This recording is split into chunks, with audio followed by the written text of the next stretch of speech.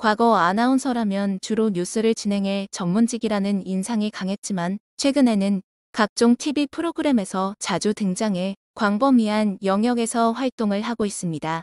특히 연예인 못지않은 매력을 뽐내는 여성 아나운서들은 톱스타, CEO, 스포츠 스타 등과의 결혼 소식을 전해 화제가 되기도 합니다. 하지만 안타까운 이혼 소식을 전하는 인물들도 있는데요. 그중 김경란은 정치인의 아내에서 방송인으로 돌아와 활발한 활동을 이어가고 있습니다. 김경란에게는 어떤 사연이 있었을까요? 2001년 KBS 27기 공채 아나운서로 데뷔해 김경란은 현재 프리랜서 방송인입니다. 김경란은 KBS 뉴스의 주중 메인 앵커와 KBS 뉴스라인과 뉴스광장을 진행했고 스펀지와 생생정보통의 진행을 맡으며 종횡무진 활약했습니다. 그러던 중 2012년 9월 KBS에서 퇴사하고 프리랜서 선언 후 방송 활동을 이어가고 있습니다. 하지만 김경란은 어린 날의 기억이 깊은 상처로 남아 있습니다. 저는 인생에서 사람들이 깨기 쉽지 않은 틀들을 많이 깼어요. 언론고시 보고 공채로 입사를 해서 그 회사를 퇴사했어요. 그리고 이혼도 했어요. 여러 가지 틀을 안 깨고 살았다고 생각하지 않는데 자꾸 주위에서 나보고 틀을 깨라고 조언해요. 또한 김경란은 자신의 인간관계가 좋고 깊다고 털어놓으면서 새로운 사람을 대하는 것이 어려워요 라고도 말했습니다. 패션 화보를 찍게 됐어요. 노출이 없는 의상이었는데 섹시 화보를 찍었다는 기사가 났어요. 제 뒤에서 한 선배가 저 들으라고 일부러 요즘 애들은 저렇게까지 해서 뜨고 싶어 하냐고 말하더라고요. 그런가 하면 다리에 난 상처를 두고 말도 안 되는 소문이 나기도 합니다. 평소 잘 넘어지는 편이라 다리에 상처가 많아요. 어느 날 무심코 스타킹을 안 신고 제작 발표회에 갔다가 전신 사진이 찍혔는데 제 다리에 상처를 보고 어마어마한 이야기가 많이 나왔어요. 그런데 굉장히 선정적인 이야기였어요. 순식간에 그런 애가 돼버렸어요. 늦게까지 결혼 못한 것도 성격이 더러워서라는 등 그런 말들이 저를 형성하고 있더라고요. 김경란은 어린 시절도 떠올렸습니다.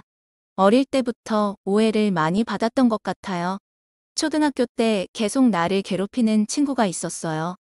6학년 때 전학을 갔는데 그 친구가 자신도 이사를 왔다며 잘 지내보자고 연락이 왔어요. 이후 그 친구를 중심으로 따돌림이 시작됐다고 합니다. 방송반을 마치고 교실로 돌아오면 제 책상이 다 널브러져 있고 아이들이 저를 에어싸고 비난했어요. 그런 시간들을 겪고 나니까 사람들이 나를 바라보는 모든 시선이 너무 힘들었어요.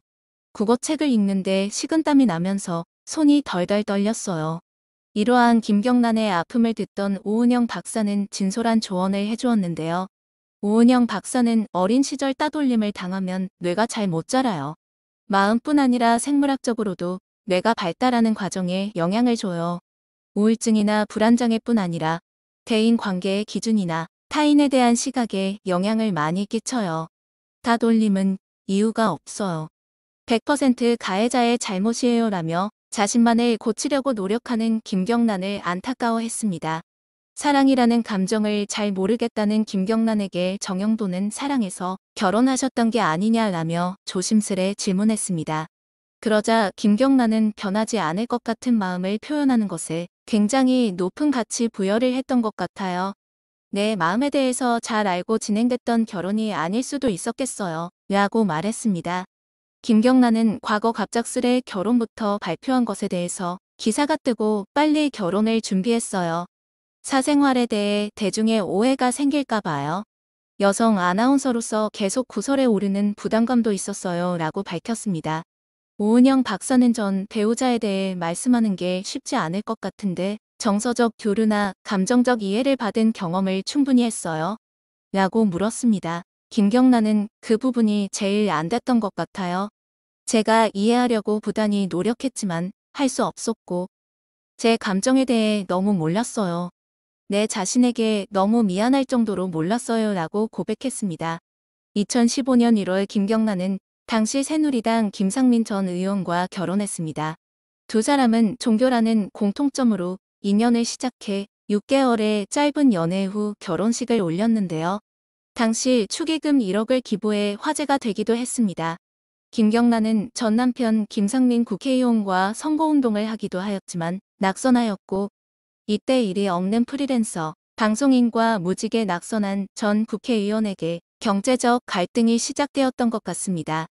생활고를 겪으면서 미래가 없어 보이는 상대 배우자에게 큰 실망감을 했을 것이고 서로를 원망하고 일이 없으면 그만큼 집에서 두 사람이 붙어 있으면 저절로 없던 싸움도 생기는 법입니다. 그렇게 3년 만에 김경란은 이혼을 하게 됩니다. 사회적 요구 속에서 결혼을 해야 한다고 학습을 받았던 것 아닌가 싶어요. 내 감정에 대해 제대로 인지하지 못하고 살았어요. 나만 잘하면 모두 행복할 거라 생각했어요. 나만 버티면 된다고 생각해 참기를 수십 번 했어요. 하지만 결국 무너졌어요. 사람들이 난 이혼해도 멋지게 살 거로 생각했지만 그냥 거짓골이 됐어요. 마음이 너덜너덜해졌다라는 의미를 아실 거예요. 재정적으로 거지가 됐다는 말은 아니에요. 재정적으로는 올해 일을 많이 해서 전혀 문제가 없어요. 이혼을 결심한 후 방송 녹화 중에 엄마에게 걸려온 전화를 받았어요. 당시 이혼하려고 한다. 여기서 끝내야 할 것 같다고 했더니 담담하게 알겠다고 하셨어요. 나중에 부모님을 모셔놓고 이야기를 하니 엄마가 많이 오셨어요. 김경란은 2001년부터 2012년까지 KBS 아나운서로 근무했으며 당시 남들 눈에는 대한민국 최고 직장인 공영방송에 근무하는 앵커였는데도 본인에게는 암흑기였던 시절이기도 했습니다. 밤늦게 라디오를 귀가해서 2시간 30분만 자고 아침 뉴스를 진행하였다고 합니다. 주 6일째 근무제였고 지방에서 하는 열린 음악회를 진행할 때면 훨씬 더 준비를 일찍 하고 제대로 쉬기 쉽지 않았습니다. 뉴스라인을 비롯해 KBS 간판 프로그램들을 입사 2년차부터 맡게 되면서 경주마처럼 앞만 보고 달리는 생활을 했다고 하는데요. 결국 과도한 스케줄로 위경련이 일어났는데 뉴스를 펑크낼 수 없어 쓰러지면서도 뉴스를 진행하였다고 합니다. 아나운서 시절 상처받았던 일화도 있었는데요. 아나운서 초창기에 할아버지가 돌아가셨어요. 금요일 오후에 이야기를 듣고 부산에 내려가려고 했는데 결정권을 갖고 계신 분이 안 갔으면서요. 너는 손녀니까 굳이 가냐? 방송을 하고 가라고 해서 방송을 하게 됐어요. 집에 돌아와 가족들이 없는 빈 집에서 밤새 통곡했어요. 인간이 도리가 있는데 그거를 할수 없는 직업군에 들어와서 나만 덩그러니 남겨진 게 죄송하고 회사가 그런 결정을 한 게 화가 났어요. 야속하게도 다음날 갔는데 빨간색 옷이 있는 거예요. 회사가 내 마음을 알아줄 필요는 없지만 좋지 않았어요.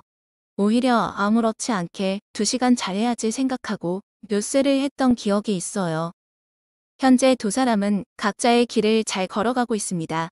김상민 전 의원은 정치 활동을 멈추고 모교인 아주대학교 대학원에 입학해 의학 공부에 열중하고 있다고 밝힌 바 있습니다. 그는 장학금을 받으면 한턱 쏘겠다라고 너스레를 떨며 현재의 생활에 만족하고 있음을 드러내기도 했습니다. 2021년 4월에는 11세 연하 성우 미나리와 재혼 소식을 알렸습니다. 김경란은 현재도 연극, 방송 등 활발한 활동을 이어가고 있으며 와중에 빵과 디저트를 만드는 취미 생활에 빠져 제빵 과정을 수료했다는 소식이 전해지기도 했습니다. 앞으로도 지금처럼 활발 활동을 하며 다채로운 매력 선보이길 기대하겠습니다.